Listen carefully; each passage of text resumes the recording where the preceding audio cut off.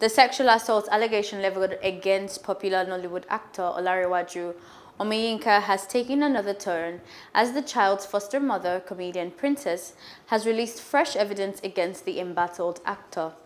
On Wednesday, Omiyinka, popularly known as Baba Ijesha, was arraigned before Magistrate Peter Nwaka on charges of rape, sexual assault and abuse of a minor.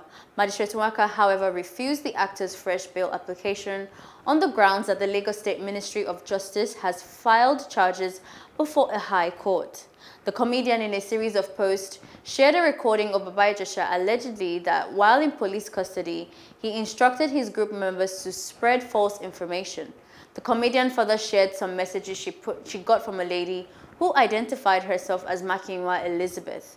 The young woman in the voice note claimed that she and her sister were almost victims of the embattled actor as well. Hello, hope you enjoyed the news. Please do subscribe to our YouTube channel and don't forget to hit the notification button so you get notified about fresh news updates.